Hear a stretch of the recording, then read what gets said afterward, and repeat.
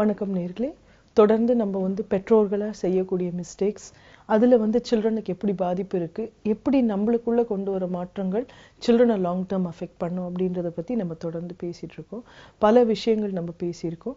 இன்னைக்கு நான் எடுத்திருக்கிற ஒரே விஷயம் என்ன அப்படின்னு பார்த்தீங்க அப்படின்னா ஏஜ் அப்ராப்ரியேட்டாக நம்ம வந்து ஆக்டிவிட்டிஸ் செட் பண்ணாமல் இருக்கிறது. பெற்றோர்களாக யாராக இருந்தாலுமே நம்மளுக்கு வந்து எதிர்பார்ப்புகள் அப்படிங்கிறது கண்டிப்பாக இருக்கும். எதிர்பார்ப்பு இல்லாத பெற்றோர்கள் ஆக்சுவலா நார்மலே கிடையாது. ஸோ எதிர்பார்ப்புகள் இருக்கிறது தப்பு கிடையாது. ஆனால் நம்ம என்ன பண்ணிடுறோம் அப்படின்னா குழந்தைங்களுக்கு வந்து நிறைய ஆக்டிவிட்டிஸ் அவங்களுக்கு ஏஜ் அவங்க வந்து ஃபிசிக்கலாக ரெடி ஆகிறதுக்கு முன்னாலேயே நம்ம வந்து கொடுக்கறது. உதாரணம் என்ன அப்படின்னா ஒரு குழந்தை வந்து சீக்கிரமாக எழுதிடணும் சீக்கிரமாக படிச்சிடணும் அப்படின்ற லெவலுக்கு நம்ம வந்து நிறைய நெகட்டிவ்ஸ் நம்ம வந்து செட் பண்ணுறோம் இங்கே தான் நம்ம எங்கே ப்ராப்ளம்ஸ் பண்ணுறோம் அப்படின்னு பார்த்தீங்க அப்படின்னா சில்ட்ரனுக்கு வந்து ஃபிசிக்கலாக உடல் ரீதியாக ஃபஸ்ட்டு வந்து ரெடினஸ் இருக்கணும். எல்லாத்துக்குமே வந்து அவங்க ஆசை ஆசைப்படுவாங்க. டக்குன்னு ஒரு பேனா கொடுத்தீங்கன்னா அவங்க வந்து எழுதுகிற மாதிரி ஆக்டிங் கொடுப்பாங்க. ஆனால் அதுக்கு அவங்க ரெடியா அப்படின்றத நீங்கள் பார்த்தீங்க அப்படின்னா உண்மையில் அது கிடையாது.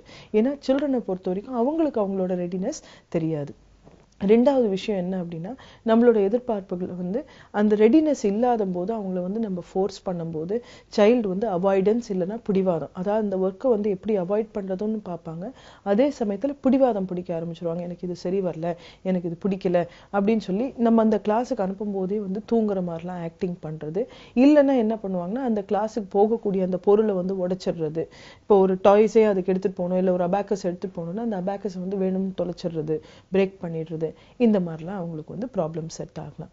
ரெடினஸ் அப்படின்றது என்ன அப்படின்னு பார்த்தீங்கன்னா ஏஜ் அப்ராப்ரியேட் நான் ஏன் சொல்றேன் அப்படின்னா அந்த குழந்தை வந்து பிரெயின் மூளை அளவுல வந்து ஒரு சில நரம்பியன்கள் வந்து சரியானபடி செட் ஆயிருந்தா தான் ஒரு சில செயல்கள் அவங்களால வந்து செய்ய முடியும்.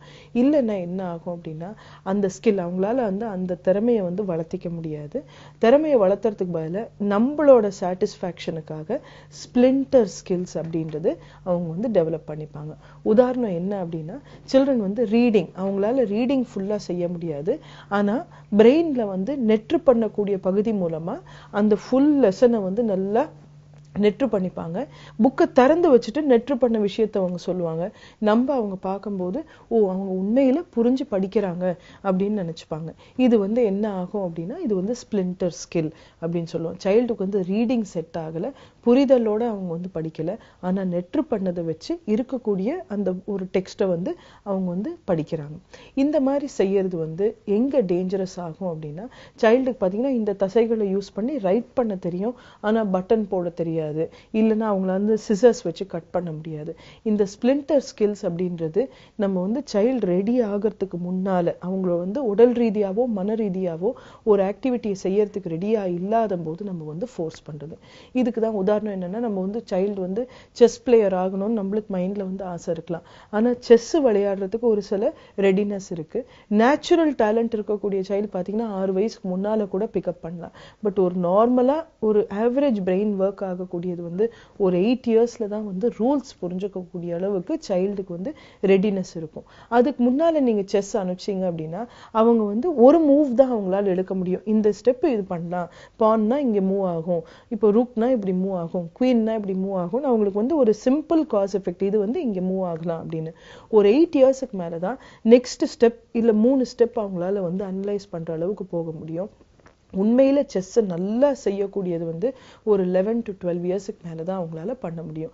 ஆனால் நம்ம என்ன பண்ணிடுறோம்னா அவங்க வந்து பேசிக்காக இந்த மூவ்ஸ் எல்லாம் புரிஞ்சுக்கிட்டாங்க அப்படின்னா உடனே அவங்கள வந்து காம்படிஷன் லெவலுக்கு போகிறோம் கோச்சை வச்சு இது பாரு இப்படி பண்ணியிருக்கணும் இது இப்படி பண்ணியிருக்கணும்னு சொல்லி அவங்கள வந்து ப்ரெஷர் பண்ணுறோம் இதே வந்து மற்ற ஆக்டிவிட்டீஸுக்கு கூட இருக்கலாம். இப்போ ஒரு டென்னிஸ் கிளாஸுக்கு அனுப்புறது ஷட்டில் கிளாஸுக்கு அனுப்புறது சைல்டுக்கு வந்து நேச்சுரலாக ஃபிசிக்கல் ரெடினஸ் இல்லாமல் கூட இருக்கலாம். உடல் ரீதியாக அவங்க ரெடியாக இல்லாத மாதிரி இருக்கலாம். நீங்கள் ஃபோர்ஸ் பண்ணும்போது அந்த சைல்டு பேருக்கு வந்து தவறான மசில்ஸ் டெவலப் ஆகிறது உடல் ரீதியான பிரச்சனை. ரெண்டாவது மன ரீதியாக அவங்களுக்கு வந்து அந்த மன அழுத்தம் ரொம்ப இருக்கிறதுனால ஒரு வெறுப்புலேயே கற்றுக்கிற மாதிரி இருக்கும். எஸ்கேப் லேர்னிங் இல்லைன்னா அவங்க வந்து ஃபால்ட்டி பேட்டர்ன்ஸில் அதை வந்து லேர்ன் பண்ணிப்பாங்க. பெற்றோர்களாக எதிர்பார்ப்பு இருந்தாலுமே வாட்ச் த லேர்னர் சைல்டு நேச்சுரலாக எந்த விஷயங்களில் அவங்க வந்து இன்ட்ரெஸ்ட் காட்டுறாங்கன்றது பாருங்க. எல்லா குழந்தைக்கும் வரைய பிடிக்கும். எல்லா குழந்தைக்கும் மியூசிக் பிடிக்கும். ஆனால் அது பிடிக்கும்ன்றதுனால அவங்க வந்து அதை கிளாஸில் போட்டு நீங்கள் வந்து டெவலப் பண்ணிக்கலாம் அப்படின்றது என்றைக்குமே நினச்சக்கூடாது. உங்களோட எதிர்பார்ப்புகளை வந்து பேலன்ஸ்டாக வச்சுக்கோங்க. சைல்டு வந்து எந்த விஷயத்தை வந்து விருப்பப்பட்டு செய்கிறாங்களோ அந்த விஷயத்தை வந்து அவங்க வந்து டெவலப் பண்ணிக்கிட்டோம். ரெடியாக இருக்கும்போது அவங்க நேச்சுரலாக செய்வாங்க. அந்த விஷயத்துக்கு அவங்க ரெடியாக இல்லாத போது அதை வந்து அவாய்ட் பண்ணுவாங்க. ரெடினஸ் இருக்கும்போது கொஞ்சம் எஃபர்ட் போடுவாங்க. கொஞ்சம் அது கஷ்டமா இருந்தால் கூட இல்லை டாடி என்னால் செய்ய முடியும். இல்லைம்மா நான் செஞ்சு காட்டுறேன். அப்படின்ற லெவலுக்கு போவாங்க. ரெடினஸ் இல்லாத போது இது ரொம்ப கஷ்டமாக இருக்குது என்னை வந்து மிஸ்ஸு டெய்லி திட்டிகிட்டே இருக்காங்க. அப்படிங்கிற லெவலில் அதை மட்டும் தான் பார்ப்பாங்களே வழிய மிஸ்ஸு திட்டுறது ஏன் அப்படின்னா நான் ரெடியாக இல்லாதனால அப்படின்றது அவங்களுக்குமே புரியாது. இது லாங் டேர்மில் எப்படி செட் ஆகும் அப்படின்னா சைல்டு வந்து எல்லாமே லைஃப்பில் கஷ்டம். அதனால எதுக்குமே முயற்சி பண்ணக்கூடாது. அப்படிங்கிற லெவலுக்கு இது நெகட்டிவாக போயிடும். இல்லைன்னா தப்பாக அவங்க வந்து லேர்ன் பண்ணுவாங்க. நிறைய டைம்ஸ் பார்த்தீங்கன்னா ரைட்டிங் ரொம்ப ஏர்லியாக கொடுக்கும்போது சைல்டோட ஹேண்ட் ரைட்டிங் இப்படி எழுதுறதுக்கு பதில் இந்த மாதிரி அவங்க வந்து வேற தசைகள் மூலமா அதை வந்து பயம் கையை வந்து பயன்படுத்துறது ரெடி பண்ணுவாங்க. இல்லைன்னா ரீடிங்க்கு ரெடியாக இல்லாத போது நான் சொன்ன மாதிரி எக்ஸாம்பிள் இருக்கலாம். இல்ல ஒரு ஷட்டில் அந்த மாதிரி விளையாடுறதுக்கு ரெடியாக இல்லைன்னா அந்த கிளாஸுக்கு முன்னால கால் வலிக்குது. எனக்கு இன்னைக்கு காலில் வந்து சுழுக்கு பிடிச்சிருச்சு அப்படின்னு சொல்லி எஸ்கேப் பண்றது கூட அவங்களுக்கு வந்து ஹேபிட்ஸ் இருக்கலாம். லாங் டேர்மில் பெற்றோர்களாக நம்ம புரிஞ்சுக்கிறது ஏஜ் அப்ராப்ரியேட்னஸ் அப்படின்னு ஒன்று இருக்குது ஏஜ் அப்ராப்ரியேட்னஸ் அப்படின்றது நம்ம வந்து இமோஷனலான முடிவுகள் எடுக்கலை. உடல் ரீதியாக மன ரீதியாக அந்த குழந்தைக்கு வந்து சர்டன் ஃபிசிக்கல் ஸ்கில்ஸும் இருக்கணும் உடல் ரீதியான ஸ்கில்ஸும் இருக்கணும்.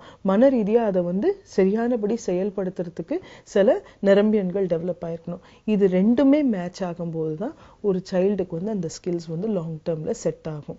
இது வந்து நம்மளோட எதிர்பார்ப்புக்கு இல்லைங்க மற்றதெல்லாம் நல்லா செய்கிறான் இதையும் செஞ்சிருவான் அப்படின்ற அளவுக்கு நீங்கள் இதை எடுத்துட்டு போகக்கூடாது. ஏன்னா நம்ம வந்து நம்மளோட எதிர்பார்ப்பை தான் அங்கே வந்து மீட் பண்ண பார்க்குறோமே ஒழிய சைல்டோட நீட்ஸும் சைல்டோட ரெடினஸும் நம்ம வந்து புரிஞ்சுக்கிறது இல்லை. லாங் டேர்மில் இது வந்து ரொம்ப பாதிப்பு கொடுக்கும். அவங்களால வந்து சுயமதிப்பு வந்து குறைச்சிக்கிறதுக்கு இது வந்து ரொம்ப ஒரு காமன் ரீசனாக இருக்கு. நிறைய ஸ்கூல் டீச்சர்ஸும் இதை பார்க்குறீங்கன்னு எனக்கு தெரியும். நம்ம இன்னும் ஏர்லியராக ரைட் பண்ண வைக்கிறோம்.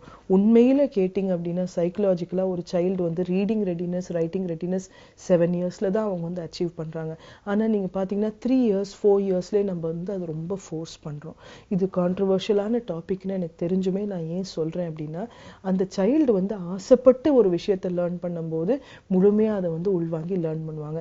இல்லைன்னா எக்ஸாமுக்கு ரெடி ஆகுவாங்களே விடிய லைஃபுக்கு அவங்க வந்து ரெடி ஆகிறது ரொம்ப குறைஞ்சிரும்.